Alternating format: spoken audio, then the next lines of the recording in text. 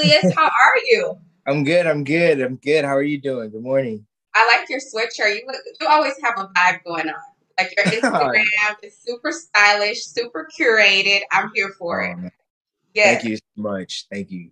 Um, Cruel Summer is the freeform breakout hit. Um, I feel like coming into summer, I've talked to multiple members of your cast, and this show has just blown people out of the water, right? It, you Wow. would think it would be a teen drama situation, but it's totally not that. Uh, before we dive into the show, because I'm so excited to talk to you, I've been wanting to talk to you for a while. I Oh, want to find out a little bit more about Allius. Um, you were born and raised here in Los Angeles, and you started acting at the age of seven. Talk to us a little bit about what sparked your interest in this industry in acting. Um, well, I've always, always, always, um, as a young child, I love movies. I love television. I um, I started. I was I was singing actually, not by choice. I was actually singing um at my church, and um, the my choir director at the time, like the youth director, he ended up um introducing me to a woman who ran a conservatory, and um, you know, in the inner city of like Los Angeles, uh, sort of like South Side Los Angeles, and um, I think from there, getting on the stage, you know, dancing, singing, acting, all of those things, I really came into myself. And it was such a great community of other, you know, kids and teenagers and stuff like that. And I just felt so at home. And yeah, I just wanted to build my life around that. And I think um, after that, just stepping into television and film, it was, you know, that whole world is like something everyone, you know, people dream of being able to see how these things are made. And I think getting the opportunity to do that, I was like, I would never ever take this for granted or let this go. I'm just gonna run with this because you know I love this so much. So It's it's definitely working for you. The camera Oh. loves you, right? The fans, the camera loves you. I want to ask you, what would you describe as your big break moment? What would you describe as that moment for you? um as far as projects go, Your big break, yeah. What what project? What would you say your first project was like? Oh, I'm really like doing this. This is the big leagues. What would you describe as that moment? um I don't know. I don't know if I've uh feel like I've hit a big break. I think when you're in it and you're sort of you know there on the outside everyone's telling you all the amazing things and they're you know congratulating you and they're you know acknowledging you know the things that you're doing but i think as the person sometimes it's hard to you know stop and go wow this is this is everything i prayed for. This is everything i i meditate or you know like manifested. Um so i think when i stop and have those moments it's it's every time i get a job or every time i find myself on a set where it's just a, a great environment and at, at the end of the day or i think it's in the morning time to be honest with you when i sit down in that hair and makeup chair i always remind myself like man you are really doing this like doing what you love living in your purpose so it's, it's really every project honestly to tell you the truth Wow. I have to ask you, Allius, because you're so young and you're like living in your purpose, as you just mentioned. You're working and doing your dream job. What advice would you share for those who are watching, who are your age, young, or even older people, people in general, who are wanting to pursue a passion project or, you know, they have this dream career that they've always wanted to do, but they're afraid to step into that? What advice could you share with them, if all? hmm i think as artists I Mhm. think um, no matter what form of art you do, I think it's very important to find fulfillment outside of that because art is going to bring us joy. It's what we love to do. It's it's our purpose, uh, you know, or what have you. It's um, you know, it's what we love, and I think finding fulfillment outside of that thing will allow for there to be no sort of you know disappointment or no sort of you know you, you can't really fail at that point. Because if you feel fulfilled outside of those things you know every single time you get the opportunity to do that thing you're going to do it you know with all you know with everything you got. And i think that's so important for you know artists of all of all kinds or you know it doesn't matter what form of art you do it's just man everyone puts sort of their um their entire life in it which is Mhm. correct but when those things don't work out we find ourselves sort of defeated or you know sort of you know we, we hit a pause and then we start questioning things but i think finding fulfillment outside of those things will allow you know, for you to have some good foundation. And if you're happy without it, then when you get it, man, you're on top of the world. Right. And that will just send you, you know. So yeah, I'll just share that with them. I, I think just find happiness outside of, you know, your art. And I think it'll shine through 10 times harder when you are, you know, right. and never, never give up. Uh, Truly. It's so it's so cheesy, but man, you just got to be persistent because a lot of things, a lot of things in life are out of our control, especially, you know, in a, in a field like this. A lot of things are out of your control. It's just, it's just about, you know, just continuing to do it. And one day people are going to respond to it and more people are going to respond to it. And before you know it, you know. Right. Yeah. So that was good advice, young man. I have to oh. say, I'm gonna take good advice myself, and the people are responding to you on screen. As I mentioned, the camera loves you, the fans love you. We love you. You're killing it in Cruel Summer. Let's talk to us about where you were. Where were you when you got the call um, about this project? And then when you read the script, what did you think about your character Vince? Talk to us a little bit about that. Man, I uh it was um so we shot the pilot in uh, 2019. That's when mm-hmm. all these things were being created just before the pandemic. And uh, I was working at a clothing store. I'd only been there two weeks. Um, no it was a new job. Yeah, it was it was a new job, and you know something I just stepped into, and um, you know I, I I don't know what it was, but it was something about this. There was something about this project initially. Just reading the scripts that just felt right, and um, about this character. I, I mean, the story. Reading the first episode, man, that, that just had me like.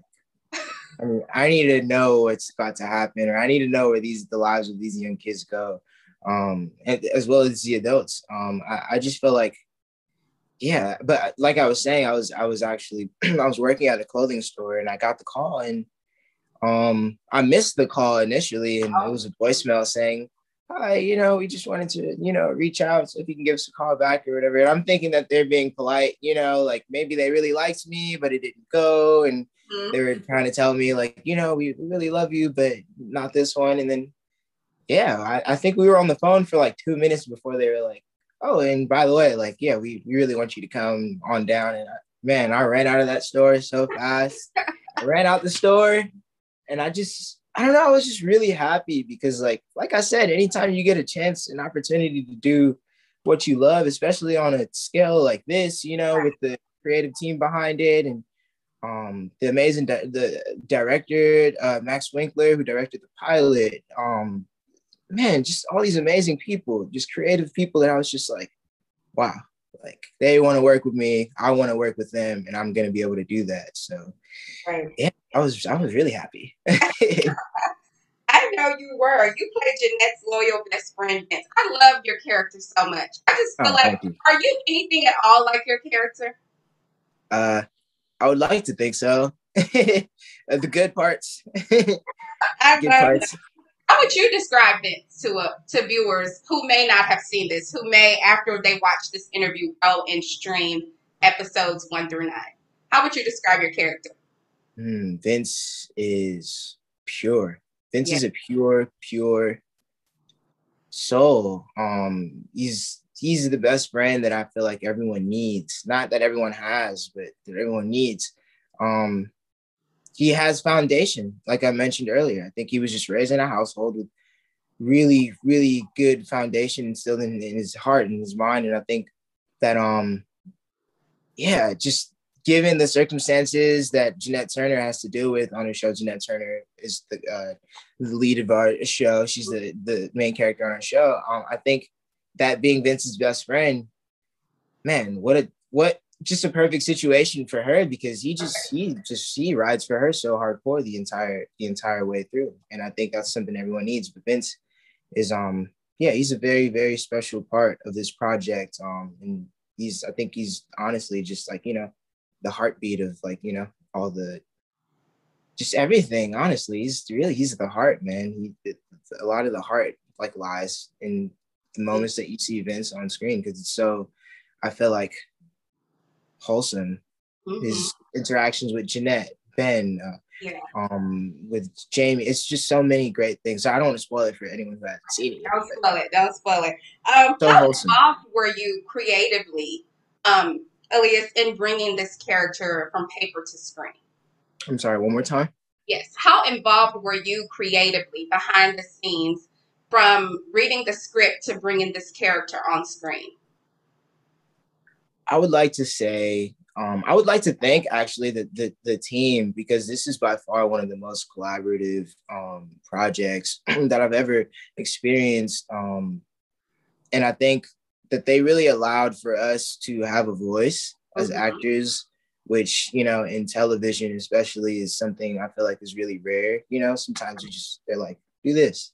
But I think um, with this show specifically and with this team, they really trusted us and um, they really trusted our instincts and our abilities. And I think that um, they made these decisions just based off of who we were as human beings first. And I think um, that goes a lot to say about how closely connected we are with these characters and how much we are like like them in real life. Because um, I think you know making a decision based off that, you know, that that really screams that to me. Um, that they're really, you know, that there are a lot of qualities that we have, you know, in common with these uh, characters. And I think they, yeah, they really gave us a lot of room to bring, you know, a lot of our own vibes to these people. And man, it's so good. Everyone is so, so good. Every time I, I watch the show, I'm like, y'all are so good. You so know? you're blown away just as we are at home. Like, Yeah. Amazing. Wow. They're so they're so special, man. Wow. Um, we get a clear and better understanding of Vince and Ben's relationship in this week's episode. We're not going to spoil anything for anybody, but you guys catch up, get into it. I need to come and watch this. Um, but to be a black young gay man in Texas in the 90s, I can't imagine. I'm from Texas. I'm from Dallas. Mm. Mm. Very yeah. conservative place, right? Yeah, I'm from Dallas. So yeah. I can't even imagine what that was like. Um, what do you think Ben is dealing with in his because we see him like kind of grappling. He has this situation that happens in the car, I won't say. But what do you think Ben is dealing with and grappling with in his identity? Because you can kind of see it play out on screen. Even you, without even words being spoken, you see the emotion. You see you wanting to be there for him and wanting to be loyal as your character Vince is. Talk to us a little bit about this dynamic and what can we expect to see? Can we expect to see anything else unfold with you two coming up? Mm, man, well, just on that topic, just pressure, you know, it's that's a lot of pressure. And I think um in that moment, I think Ben just, just felt fear. You know, you got all eyes on you. There's a lot happening you know, on top of the fact that you're already injured, but then there's this moment and um I don't know, I just can imagine what would be running through my mind. I'm about to be willed away and like when I come back, is everyone gonna, you know, am I gonna be safe? Is is Vince gonna be safe? You know? Mm-hmm. I think um it wasn't just a, a decision he made for himself. I think it was for Vince too, because like you mentioned, Vince is black, gay, teenage boy in the 90s in Texas, Dallas, yeah. Texas. It's like, man, I, I can only, you know, I can only apply what I think that that would feel like, or what that would, you know, mm-hmm. where that would stop my breath. But I, I think just all of those things, man. I think for Ben, it was like really more about, you know, the both of them than it was about not being like outed like for himself. I think it was a safety thing because he loves Vince a lot, man. They connect so so deeply. Um, yeah, so I think it was it was definitely it went two ways there in that situation. You guys really like brought it in that whole bit. I mean, like again, oh, you weren't really saying much. It was like hanging out in your eyes. So oh, I mean, you. that's the talent in itself, right? To get the audience to connect with the viewers through, you know, emotion and you guys expression. Yeah, I, shout out to Nathaniel Ashton who plays Ben. He's so so great guys really brought that. Um, what's up with Mallory? about Mallory. What What are your thoughts on her? Why are you laughing? Why are you laughing, Allius? What are your oh, thoughts man. on her as Allius, not as Vince. What what do you think? What's at play with her behind? It's something going on. And there's so many theories that are playing out on Twitter, of course. what are your thoughts on Mallory? Something not right with her to me. Mm, Mallory. I think Mallory, man, what I noticed about this show, this is a lot of pain. Everyone's just experiencing their own form of like pain. And I think Mallory is, you know, as well. And I think she's just um she's even more, you know, I think she's great calling uh, asking for a friend more than Jeanette is, you know, eventually after they, you know, part ways and I, I, I don't think she necessarily has any i mean you know she has a lot of like she's she can be pretty spiteful but i don't know i just think mallory is just hurt you know by all the events that are taking place and she's just confused and um yeah that's causing her to lot, make a lot of decisions and you know a lot of new friends and stuff like that which definitely like you said is confusing for the audience it is. Um, and they're trying to wonder why she's so hardcore trying to you know take yeah. Turner down but i mean um i think um in this next week and when the finale comes around that um yeah i don't i don't i don't I don't even want to say. I don't know how. Just I want everyone to see for themselves. I just think everyone is experiencing pain. You know. Mm-hmm. Yeah. If there if there is a message in this show, if there is a message, right? What What do you think the message of this show is? Mm.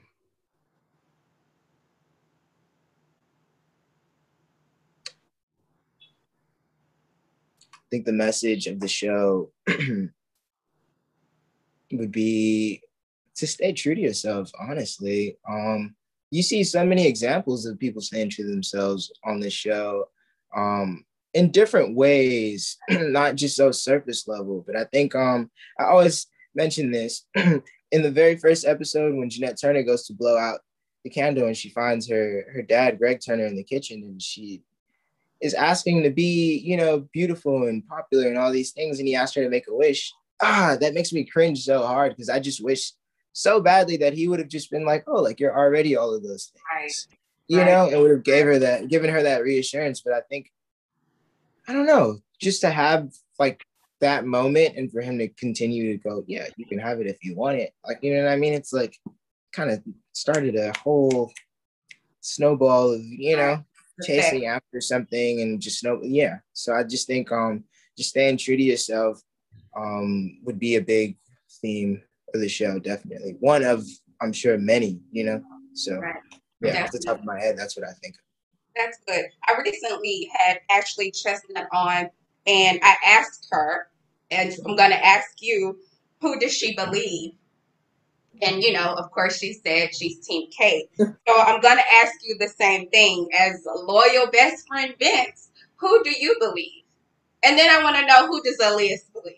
because Ooh. I don't know who I believe at this point, and we halfway through. It's about to be over, I think. so three questions: Who do who does Vince believe? Who do yes. I believe? Yes. oh, two questions. Um, that's so hard. I think Vince believes in he just he's he's Vince is all equality. He just wants everyone to be happy. I think Vince thinks that you know Kate is dealing with a lot, Jeanette's dealing with a lot. I don't know if he necessarily believes one or the other. What? Um I'm giving you the side eye now. Wait a minute, What? Um yeah, it's a lot. That's it's there's a lot going on there. I personally believe Jeanette Turner. Personally, so that's Allius believes personally, or is that yeah? Okay. Yeah, yeah, yeah. Okay. I I believe Jeanette Turner. I don't Vince. Um, Vince, of course, Jeanette is his best friend, and he's gonna do whatever he can for her. But I think Vince is such a neutral, like just he's naturally just um on the fence about things. Mm-hmm. Um, but I think for Allius, I definitely believe Jeanette. Okay. Why does Vince why is he so ride or die for Jeanette? Although he notices certain little things, like she keeps going over to the house. Like, why is he, you know, it's one thing to be loyal, but is he loyal to a fault in that friendship? Vince loves Jeanette so so dearly. Um, it's it's um. I mean, I, I ask people if this was where you're in. I see the relationship this way in my mind. They grew up.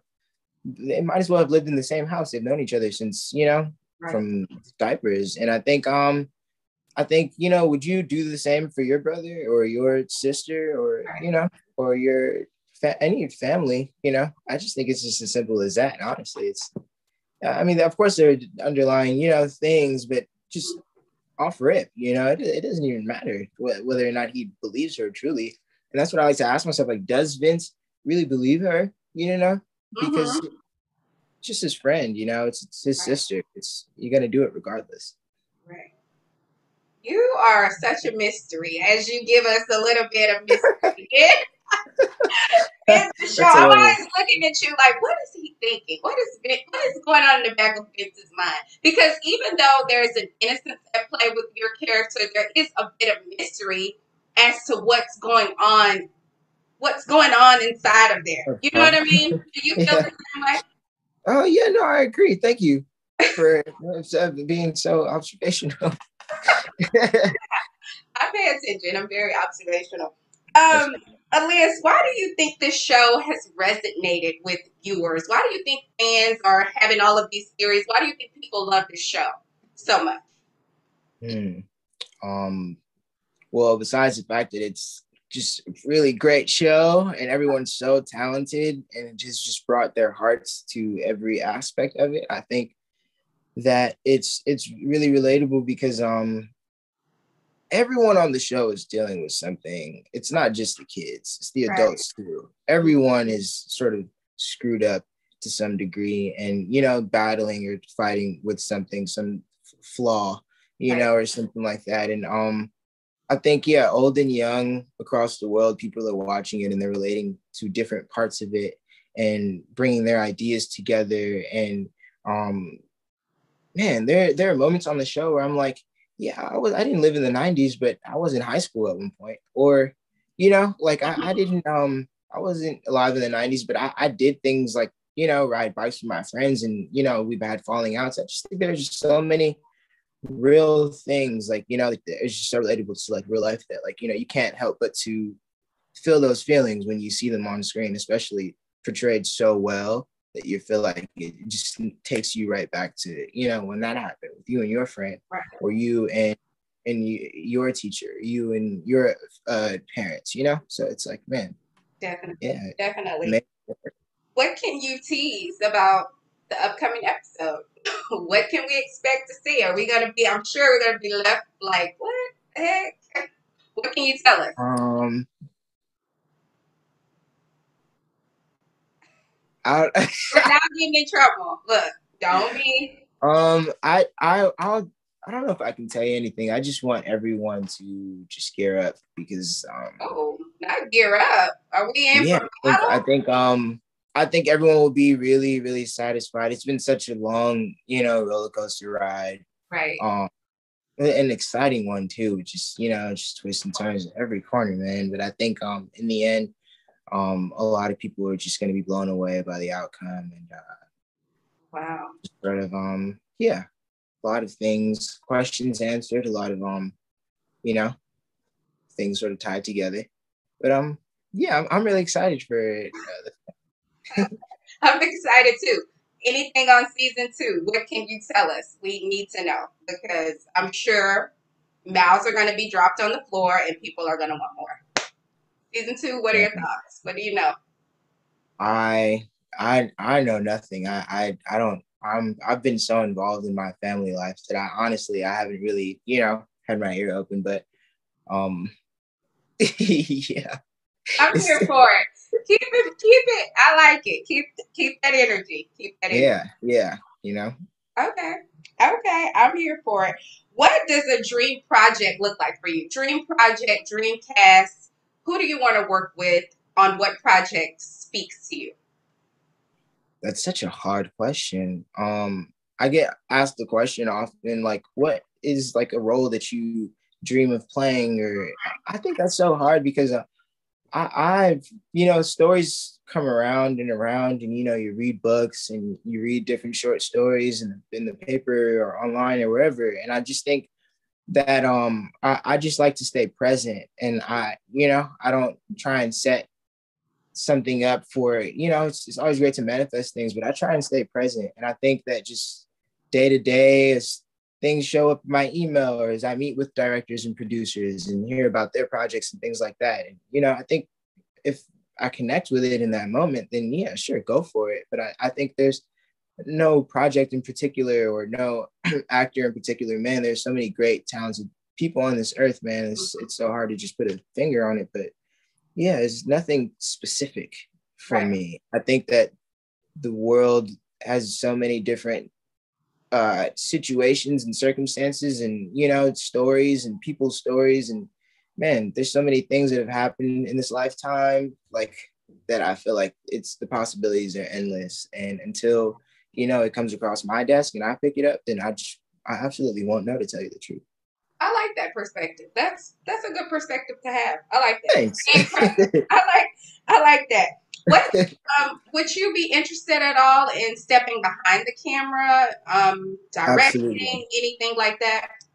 Absolutely. I think um as I enter my sort of like earlier to like mid 20s, I think it's gonna be a learning process as I, you know, am in front of the camera still and you know, acting and stuff like that. But I think um, Cruel Summer opening the doors to some of these bigger projects, I'll definitely build better relationships to where I can, you know, learn a few things from, you know, the the crew and learn a few things from the, the guys who are, you know, operating these cameras, working on these cameras and um, sort of setting up these shots. And I think one day, yeah, I just pray that that leads to an opportunity for me to, um, like you said, step behind the camera and direct something beautiful, you know, and uh, yeah, I think the work for that starts now. Absolutely. So putting that out there. Um, hopefully soon, in a few years, you know, I'll have the opportunity to do that. Thanks for asking. That's such a huge part of my life, actually. Thank you. Of course. So whether you're behind or in front, I want to talk to you. I want to keep up with you. I have to know what please. you're doing. I feel like you're like my little brother now. You're like, oh, please, come on, sis. seriously, seriously. Please. I have to ask before I let you go. Do you keep up in touch with the cast at all from Cruel Summer? Or you guys absolutely? Talking? Who's absolutely. the last person you talked to? Uh, I went to an event with Harley Quinn Smith to support her. Okay, that's nice. yeah. I love it. I love it. Yeah. You have again a big sister in me. I'm so proud of you. You are such a wise young man. I'm so so proud of you. I'm here for everything you have going on. Come back and talk to me anytime um, you want to.